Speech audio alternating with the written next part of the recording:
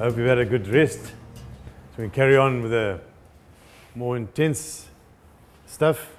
I'd just like to go over where I started off, so just to give some background. We started off by doing this uh, example here.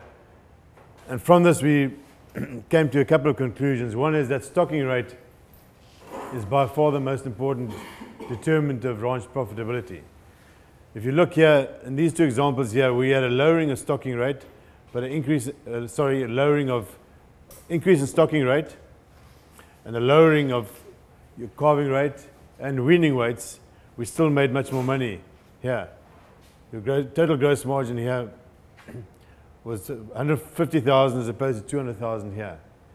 But even more important than that is the return on capital investment was much higher, or relatively higher here with a lower performance per animal. So that shows you that the more animals you carry, even if they produce individually at a lower level, your total profitability will be higher. The reason being is that we have such a high capital investment in land prices as opposed to cattle prices. But if you have a combination of very high stocking rates and high performance per animal in terms of body condition, which relates to calving rate, then you come to these figures here that are two to three times higher than what you get in the conventional system here. So if a conventional system uh, where the, the objective is maximum profit per animal or production per animal has to compete with our system which is based on maximum sustainable profit per hectare or per acre, it means that in the conventional system you would have to start getting twins and triplets as the case is here. So that just puts the whole picture into perspective how important stocking rate is, even with a low production per animal. But there are various ways we, how we can increase the production of animal. One is through breeding, genetics. The other one is through managing them with more paddocks per herd. The more paddocks we have per herd, the, the less the drop in uh, body condition will be. Uh, increasing or improving your supplementation. And the fourth one, which is extremely important, is synchronizing production with seasonal variation in nutrition. In other words, rather calving in summer than in the middle of winter. The production costs are going to be much lower, and I'll explain that a little bit later, how, how great the difference will be. So what we have to understand very clearly is that cattle have a dual role. One is that they have to improve the land on which they graze. And that is what Jaime talked about yesterday, where we have to increase the density, stock densities, decrease the selectivity of grazing as much as possible, and then uh, manage time in relation to your environment for the, uh, the grasses to recover or to keep nutrition high. You have to manage time. Okay. The other role that cattle have, which is very important, is that they have to convert grass efficiently into beef or milk if you're a dairy man.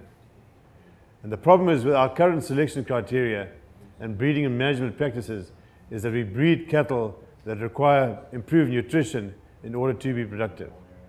All our cattle can be productive, but some of them you'll have to put in a feedlot to be able to calve every single year. So what we require to do, what we have to do is we have to breed cattle that under poorer nutrition can still ha have inherently good body condition and that will relate to higher productivity and particularly fertility. So what I want to like to show you here, I'm going to go over very quickly again, what we have here, we have two variables, the size of the animal and then the growth rate, the daily growth rate. Okay, so those are two variables. And the figures here in blue relate to the amount of energy required for one kilogram of gain in this case here, or a pound of gain if you haven't metricated yet. Okay, so basically, the higher the figure is, the least efficient that conversion is relative to the size of the animal and the growth rate.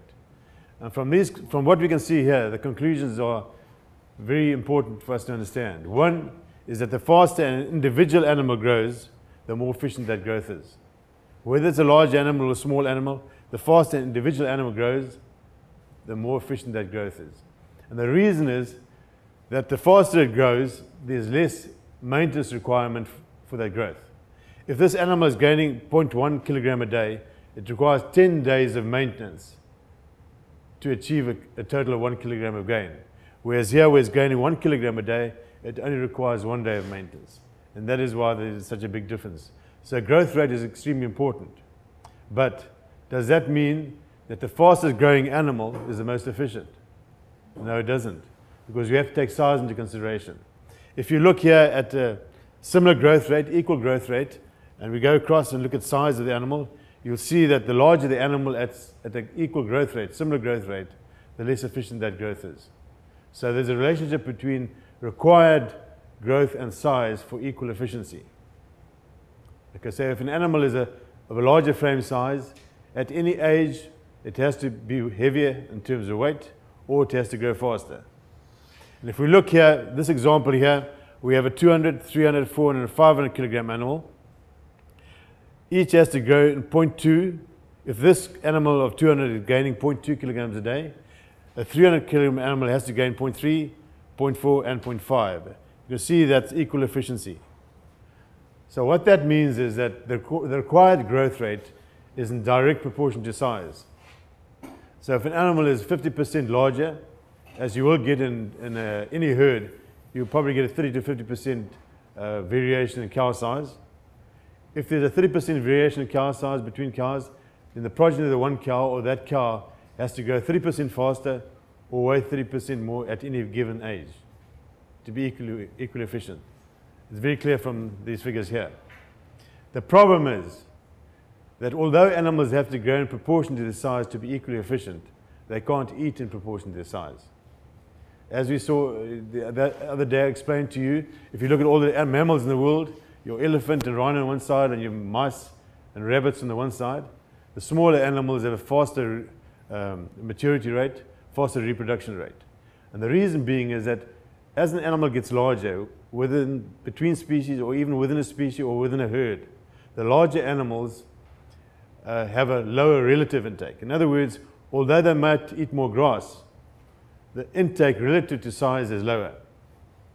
And that is because intake is relative not to size but to metabolic size, which is a function of size. What it means is that the larger the animals, the, the, the uh, smaller the metabolic size is relative to the weight of the animal. Let me just explain that quickly here. Here you have a variation in size from 300 to, 5, to 600 kilograms. Okay? What you have here is the metabolic size, which is the function of size, uh, the weight of the animal to the power of 0.75. Don't be intimidated by those figures. So what that means is that the metabolic size of a 300 kilogram cow is 72, and that of a 600 is 120. You see, 70, 120 is not double 72. So as the animal gets larger, becomes bigger, genetically it's unable to take in uh, uh, as much grass relative to its size. So the intake is less. So that's why we're talking about the relative intake for a small animal is much larger than for a large animal. And the difference between a 300 and 600 is in favor of the, the 300 kilogram by 20%. If you see, look at this figure here. We have arbitrarily uh, placed a relative intake of 100 on a large cow. On a small cow, it's 120. In other words, the relative intake, or the intake relative to size, for the small cow, which is half the size of that cow, is 20% more. That means that your body condition is going to be 20% more. So 2.4 multiplied by 1.2 gives you this figure of 2.9. And that body condition is what determines the reconception or the fertility rate of a cow. And a 2.9 body condition on a score of 1 to 5 would be equivalent to 90% calving rate, and a 2.4 would be equivalent to 70% calving rate. So what it means is that the small frame cow has an unfair advantage, and that unfair advantage is in terms of intake. And that is why, if you look at any herd, your smaller frame cows have better body condition. And your large frame cow is genetically handicapped. It's a genetic factor in her makeup that she's not able to take in more relative to her size in relation to a small cow. So that's very important to understand those. We don't have to go into too much detail, but understand those principles. If I can just go back to the other graph again, yeah? Just to explain to you, let's take for argument's sake that you have a, a, a, cow herd with average size is 400 kilograms in terms of frame size. Remember what I'm, the, the kilogram figure here I'm talking about might be a little bit dis, uh, misleading. I'm actually talking about frame size, but it's easier for us to understand in terms of kilograms. But your smaller frame animal will be heavier relative to your frame size because she's got a higher intake. So I'm not suggesting we uh, select smaller cattle or lighter cattle. I'm suggesting we se uh, select more efficient cattle, which will be heavier relative to their frame size. And that is the selection criteria I'm going to talk about later, identifies those animals. Okay, now let's assume we have an average herd size or cow size of 400. I'm sure you'll agree with me that some cows will weigh 300 and some will weigh 500. So we will have that variation more or less in any herd. Now, if you're selecting bulls from a cow herd like that, and you don't take size into consideration, you have a problem. If we just looked at growth rate, and we, took, we took three cows here, and I told you the growth rate of one bull from weaning to 12 months was 0.5 of a kilogram, and another, the growth rate of another bull would have been uh, 0.8 kilograms. Which bull would we select? The one that grew 0.8 or 0.5? Obviously, in current terms, you select the 0.8 kilogram bull. Now, let's look at it. Let's assume now that the 0.5 growth rate bull came from a 300 kilogram cow. The efficiency there would be 112 in terms of what we've done here. And the 0.8 would be from a 500 kilogram cow would be 122. So although the animal has grown faster, it's still less efficient. So we have to select for efficiency. And there you can see the relationship between size and required growth rate for equal efficiency. So it's something we have to get into our heads that size has to be considered in terms of size, or growth rate has to be considered in terms of size. Weaning weight has to be considered in terms of size. Everything has to be relative, not absolute. If we go for absolute measures and we use EPDs to make those measurements more accurate, the problem is that all we're going to do is we're going to end up at the wrong uh, uh, endpoint much quicker. It's the same as accelerating the speed of a car on the wrong road. So the problem is the selection criteria that are inappropriate. Our current selection criteria are totally inappropriate in terms of grass conversion efficiency or productivity. So we have to devise other selection criteria. Another example of showing how, we, how incorrect our, inappropriate our selections are, if you go and look at the different cow sizes here, from 300 to 600, and that, that figure here is the equivalent, equally efficient uh, weaning weight relative to the cow size.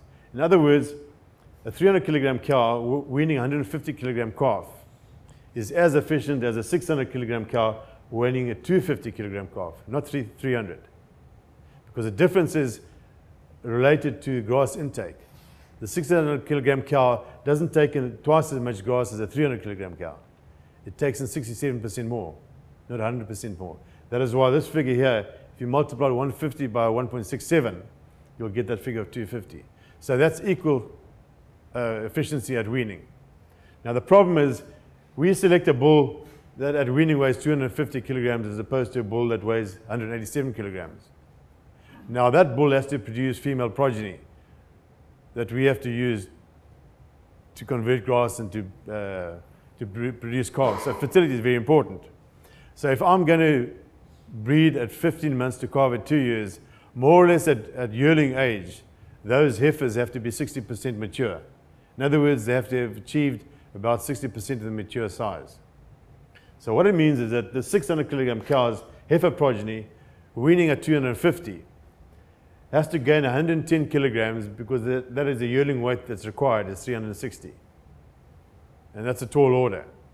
This one here, a 400 kilogram cow in the same herd, weans a calf 187, and it only has to uh, gain 53 kilograms to reach the mature size or, or 60% mature size. Difference between that is twice. So this heifer has to grow twice as fast. Now, under difficult conditions or poor nutrition, or where you're putting pressure on your cattle to graze non-selectively, this animal will be unable to achieve that unless you put a lot of extra inputs into it in terms of feed. This one has a far better chance of achieving it. So the problem is that we're selecting cattle that require better nutrition in order to be productive. We have to select cattle that are efficient grass converters, regardless of size. You might get a, it's unlikely, but you might get a, a very efficient animal in a larger frame size, but generally speaking, they will be in the lower frame size, not necessarily the smallest. So we're not selecting for smaller frame cattle, we're only selecting for more efficient cattle. And because of the relationship between frame size and intake, the more efficient cattle will be in the smaller frame category. If you weaned the calf at nine months, you have kind of rule of thumb what percent of the mama's weight it ought to be? At nine months, I would say, uh, you see, if you, the problem is with, with cows, uh, and I've had it in my own herd, is you have some cows that just have too much milk. So I've had cows that produce uh, calves at nine months, three quarters their own weight. That's far too much milk. Because when you put pressure on those cows to graze non selectively or it's a poor environment, those are the first cows that don't reconceive. I would say, as a rule of thumb, about 50% is appropriate, around about 50%. To, from 50% to 60% at yearling is not a, a tall order. And the other thing is that your, small, your uh, smaller frame cows will be able to achieve 50% in relation to their size, cow, calf weight, with less milk than the larger cow. The larger cow has to have much more milk because remember, her intake is less. So she will have to have much more milk, and that will reflect negatively on the body condition. So it's much easier to achieve that 50% with a smaller frame cow than with a large frame cow. What I'd like to just uh, uh, show you here is that we talked earlier about um, the importance of stocking rate. It's by far the most important uh, determinant of ranch profitability. But you also, if you're a cow calf producer, then calving rate, fertility is, is extremely important char- characteristic. So if you combine those two, that's when you get these very high returns in your capital investment. Okay, now if you had 100 cows that were equally fertile, in other words, you had 100 cows that at 10 years of age each produced nine calves. We discussed that earlier. Are those 100 cows equally fertile or not? In terms of their phenotype, what we can see and what we can measure, they are equally fertile because they have 100% calving record. But the history determines what the calving record is. In other words, if you decrease your calving uh, season or breeding season from, say, 90 days to 42 days, you wouldn't have a 100% calving record. In other words, what will happen is you have a group of cows starting at the bottom here that'll start falling out. They wouldn't be able to reconceive again. And if you made conditions so difficult that only 10% of your cows remained, then you'd be able to identify the 10% that are genetically extremely fertile. And what this means is the genetic fertility of those cattle, it means basically two things. They have a very good hormonal balance, the sex hormones relative to the growth hormones, and they have inherently good body condition. In other words, even under very difficult conditions, the body conditions were such that they were still able to reconceive. Now, in any herd, all of us that produce cattle here, every one of us, in all our herds, there are cattle, cows in that category. Whether we know it or not, and despite our um, inappropriate breeding uh, practices, we do have cattle in that category here. Okay. Now, the challenge is if you want to select for fertility, and, and fertility in this sense is highly heritable, if you can identify those cows. The problem with the current selection criteria is that uh, the variation in terms of fertility that's measured is largely environmental and not genetic. So we have to identify the genetic variation. Does everyone understand that? It's very important. If you don't understand it, please ask me and I can explain it again. So what it means is that uh, animals you want to identify would be that 10 or 20% left behind in the herd where you made conditions so difficult that only 10% or 20% remain in the herd. But we want to be do, able to do that without putting too much pressure on the cattle. In other words, we still have to make money. There's no point having only 10% of your cows left every year after, after you put them to the bull. You still ideally would want as many cows as possible to calve and still be able to put them in these categories. In other words, rank them in terms of fertility. So that is our challenge. You're going to, you're going to do that by uh, adjusting the amount of nutrition or supplement that you give them? No, that is the one way, uh, Mark. I, I, said if you if you made conditions so difficult, yes, you would be able to uh, identify them. But if we did that, it's, it's not practically possible to to maintain your herd size. I understand. Okay. Now the challenge we have is, and we can do it, is to identify those cows without making conditions so difficult. Yes. Yeah, that's the challenge. We'll come to that and I'll explain how we do that. Yeah.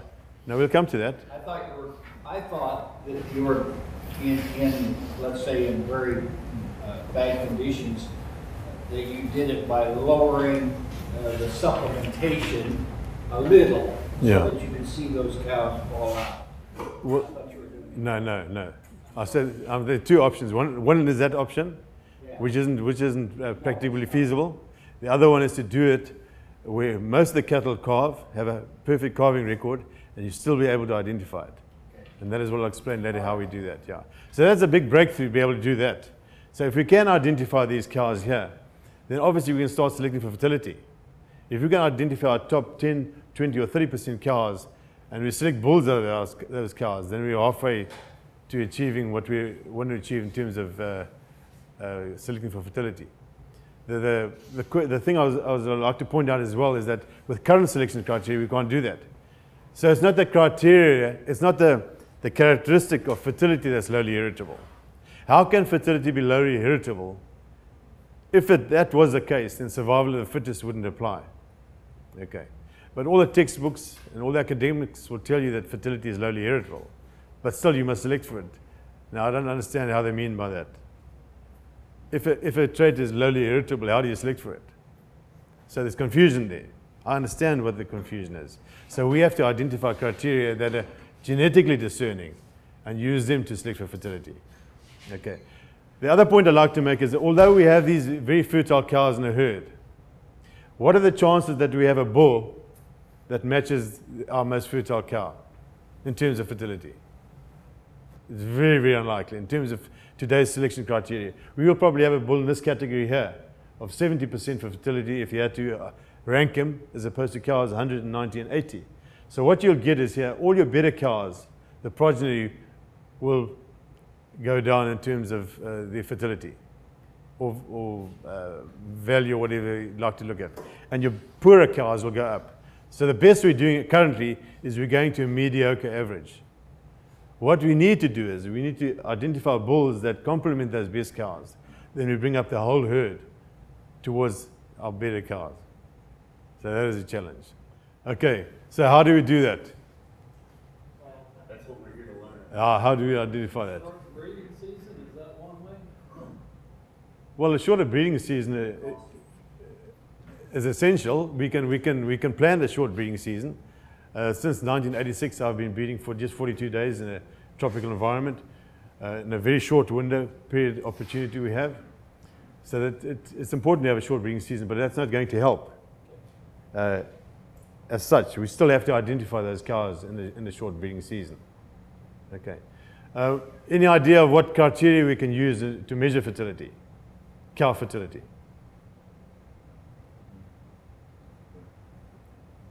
Uh, the, the ones with the right frame W- shape. Okay, well, what's, what's, what's currently, what, what currently are uh, the measurements they use, the criteria they use in terms of conventional selection? What criteria is used? I mean, fertility is the most important trait. Everyone agrees that. But with conventional selection, what is used to select for fertility? We just Body use the- the ones that breed back, we keep. Yeah, I'm talking about conventional. If you had EPDs, if you looked at EPDs, you don't worry about EPDs. We don't do that. Well, that's, that's a good sign. I know of no EPD that's accurate in terms of measuring it. Scrotal circumference they do measure, but what does that mean? Actually, one of the things we use that I'm learning is not correct is, uh, the ones that have the biggest calves. No. You know, that, so that's, that's something that we can use. Okay, well, I'd say that's currently, I think we all agree there's no, there's no criteria or selection criterion being used that is genetically discerning in terms of fertility. If you use calving rate, if 80% or 90% of your cows calve every year, you can throw out 10%. But what about the other 90%? They also vary. So we can't identify them. So we might select a bull in the bottom category as opposed to the top category. So we have to use selection criteria. Are you familiar with intercalving periods? Do you use them or are you familiar with them? Do you know what they mean? I, I know what it means from looking at your charts. Okay, it's between two dates, calving dates. Okay, now that's a starting point. If we looked at intercalving period, or we looked at the period from calving to first heat cycle, which is a bit difficult to do, but we can do, do that because your intercalving period would depend on that. So if a cow cycles very quickly after uh, she's calved, then she, she will automatically have a shorter intercalving period if the bull is there available to serve her. So that's one way of doing it. So let's look at intercalving period, which is an easy, uh, much easier way of measuring it. So it's a, it's a period between two successive calving dates. And what I suggest is ideally we should do it between with heifers that are calving for the first time and the second time. Because that'll be a contemporary group, have they had the same treatment.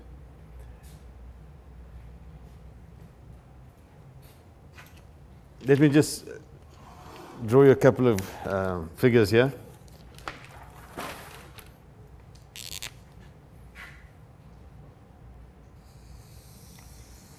Now, what I'm going to do here, I'm going to show you my figures from my environment, and I'm going to, on the, uh, the, the months, I'm going to put in both Southern Hemisphere and Northern Hemisphere, so that you'll be able to relate to that. Southern Hemisphere, the figures I'm going to put in will be from June to June there, and the Northern Hemisphere will be December to December. Centering here in the middle on January in, in the Southern Hemisphere, which is the middle of our rainy season, and more or less July here would, is more or less the middle of your rainy, your growing season as well. Okay. Now, what I'm going to do here, one has to be very uh, careful uh, to understand that environments differ so much in terms of nutrition that the graph I'm going to draw, draw here, um, there are certain aspects that will be applicable in your environment and my environment. But in my environment, there's a very small opportunity for me to have uh, calve at the right time of the year. In your environment, it's a little bit different. So what I'm going to do here is, I'm going to write on the left-hand side here, I'm going to write the intercalving periods. So that's a period between two successive calvings. And here on the right hand side, I'm going to write the equivalent uh, days from calving to first cycle. Don't worry about that, just for me to understand. That's the days from the cow calving to a first cycle, which would relate to, to 365 days if it was 80 days here. The average, more or less, the average uh, gestation period, is, I think, is about 285 days. So if you add 285 to 80, you'll get 365. That's how I get that figure. Okay, so that's the equivalent intercalving period, and that would relate to um, the days from calving to first cycle, with that first opportunity. I explained just now where I get that graph from. But prior to that, I just want to look at some figures here, intercalving periods, so you understand what I'm talking about, how we have to correct them. Okay, we have a number of cows here. I'm going to identify them as A, B, A, B, C, D, E, and F. Okay, so the calving, the, the in- individual intercalving periods, I'm also going to write down in green. You can see that one is 425. In other words, the difference uh, between the first and second calving is 425 days. Um, this one here is 395. This one here is 365. This is also 365. As this one is 365. And this one is 325 days. Now, if we just looked at intercalving period, obviously the shorter intercalving period would indicate the more fertile cow. So in this case here, we'd say that this cow is the most fertile. Everyone agree, in agreement? If we just looked at those figures.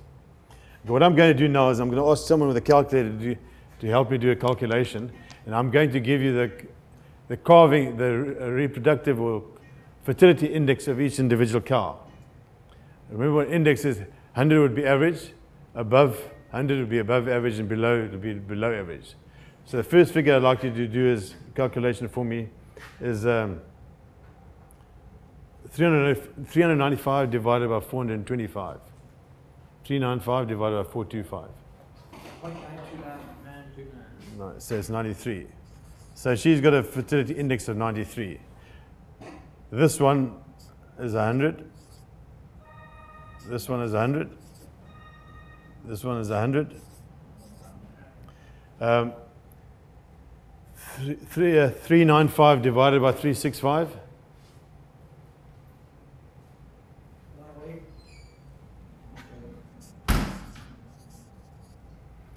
Um, 325 divided by 365. Eighty-nine? And there you have it. The re- red figures indicate the cow's uh, fertility index. How did you get that? Okay, I'll explain to you which, Oh, okay. which, which cow is the most, uh, most fertile and the, is genetically the most fertile cow. C, obviously. And the one we thought was the most fertile is just average in terms of fertility. Okay, let me explain to you. For the first seven years of my ranching career, I never owned a bull. I just inseminated. Okay, so I knew obviously when a cow calved, and because I was inseminating, I was, I was looking heat spotting, and I knew exactly how long it took for a cow to come and heat. And then I saw cows calving over different periods of the year. Those calving in the middle of the rainy season, the average cow only took 40 days to, to come and heat after calving. Whereas a cow that calved in the dry season, in your, in your winter here, would take 150, 160 days to cycle, the average cow. Okay, so that's exactly what I've done here. So what it means is that in my environment, more or less on average, for every day you calve closer to the mid-rainy season, to mid-July here, you would uh, decrease in the calving period by three quarters of a day. For every day. Can you repeat that? For every day you calved closer to the rainy season, to the green grass, you decrease the intercalving period of that cow by three quarters of a day. That's a massive decrease. Every day closer. Every day closer, yes. In some environments, I've done it in, in uh, northern Zambia, where you have a very short season as well, um, very short period of good quality grazing. It was up to 0.9 of a day. So what that means is that if 0.9 of a day, if you have a 100 day, 100 day calving season, the average cow that calved on day one would only come and eat 10 days earlier than the average cow that calved on the last day. I'll repeat that. In that case, if you have a 100 day calving season, the, the cow calving, average cow calving on day one would only come on heat 10 days before the last cow that calved 100 days later. You understand that big, how big that influence is? Okay. Now, in our environment, because there are short rainy season and the fast tropical growth of the grasses, nutrition is lost very quickly. We have that extremely uh, uh, positive relationship between date of calving relative to the rainy season. In your environment, it won't exactly be as, uh, I'm talking about northern environments. Yours, it might be different as well here. In some environments with better nutrition, like Missouri and places like that, it won't be, this graph won't have that uh, sharp curve. It'll be something like this. Okay, so But you will still have that influence. what you're saying is that uh, in, in your environment, that the June, July? June, July is, No, January, your environment will be June. June, July. But your, your rainy season is when? Well, it's opposite, it would be January. So January would, So would be equivalent to your July. Why is the cow that's so far away from your rainy season a better, Okay? You understand what this graph is? not exactly, Okay. What this graph is, if you had 100 cows that calved over that period, okay, and you took, for every two weeks, you took the average of, say, 10 cows that calved in, in, uh, in this case, say in July, in my environment, and you took the average in the calving period, you'd have, you'd plot it up here. That would be the average. Let's look at it. Let's look at your environment here. okay. What are the conditions like in, in December, January in terms of nutrition? So this date here, this car- intercalving period reflects, relates to the previous year's calving That's date. what I wasn't Yes, yeah. Okay. Okay, so let me explain that again. Uh, the, the date here relates to the first calving. So we have he- heifers here that calved first time and the second time. So the second calving will give you the intercalving period, but this date here refers to the first calving. Gotcha. Okay. I I didn't get that. Yeah. Now, what that means is that what are the conditions like in December, January when that cow calved? Very poor. Okay. So the average of those cows that calved that, that period would be somewhere around here, 385 days. But she had an intercalving period of 365 days. So what that means is that under exactly the same nutritional conditions, she was 20 days shorter. And that is why she's more fertile. Because that 20 days shorter relates to her inherent body condition and hormonal balance, which is genetics. Nothing to do with environment. So it's a, it's a similar environment. Similarly here, this cow here that calved in your July or June, July, only took 40 days to cycle after calving. And if you had a bull in there, her intercalving period would three, be 325 days. But she has a 325 day period as opposed to 395 days here. They're equally efficient in terms of equally fertile, rather. Because this one calved in the line, this one also calved in the line. Because it, because it's easier to rebreed in a good uh, nutrition when, when the grass is green than when it's. It's, it's, it's so common sense. Uh, you know, it's amazing. I, I published these results in 1982 for the first time, and no one has taken any notice of it. Because it's so out of uh, thinking, general thinking, that people just dismiss it, totally dismiss it. That's why But if, that, that calving in the winter, Yeah. the bull pushing on a string syndrome, because it will be very costly, very inefficient, and the percentage of pregnancy rate will be lower. So what it means, in effect, is that you have a herd of cows, and you arbitrarily decide, I'm going to feed this cow much more than I'm going to feed that cow. So obviously, that's going to affect the fertility. That's exactly what you're doing, because this cow is calving at a, at a time when the, you have poor nutrition. This cow is calving at optimum nutrition, and that is why they have uh, such a short uh, period from calving to first cycle. Okay, so that, that's the principle. In your environment, it won't be exactly the same the graph. It'll be a different graph. So, let's see, the, the hundred, Not very different. if they're right on the average, that automatically gives them a hundred, is that right? If they're on the, on the line, it'll be 100 years. They average. So what that means is that if you had, the way to do it, uh, you can do it through a regression equation, which is a mathematical way of doing it. By a computer, you can do it. Or you can do it very simply and very accurately.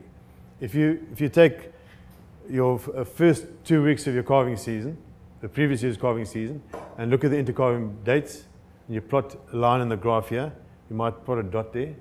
Do the second, eventually you'll get, you'll get that curve. And I know from experience is that when you get down to this year, down to 40 days, then it curves off, it flattens off. It doesn't go below. So the average cow, under ideal conditions, will come and heat 40 days after calving. Your better cows will take 20 days. 20 days after calving, they'll come and eat. And your poorest cow would only take 60 days after calving. And, and how did you get the numbers like ninety-three and eighty-nine? Which, uh, Okay, what we've done here, let me just go through it again. That is the individual calving, intercalving period for that cow. you Okay. You see, that's individual, okay?